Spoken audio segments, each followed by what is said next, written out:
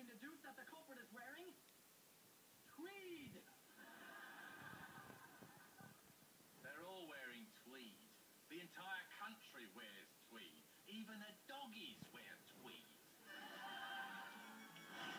Why don't you do all of England a favour?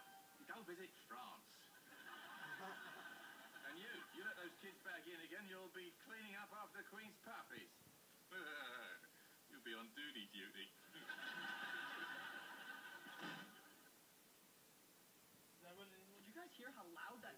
door was? Yeah. It's a loud door. Woo! Let's go. Wait. We can't leave. I now know that the book is still inside that exhibition hall. How could you be so sure? Elementary, my dear Woody. When the lights went out, what did you hear? Screaming? Mostly mine. Right. What you did what is.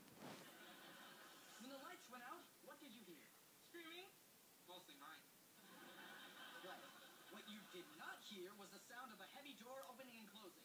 Therefore, the thief must have hidden the book inside that exhibition hall, intending to retrieve it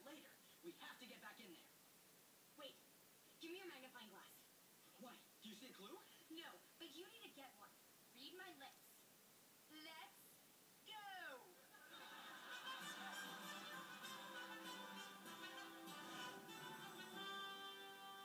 now, the ball has been removed from the game under the misapprehension that it is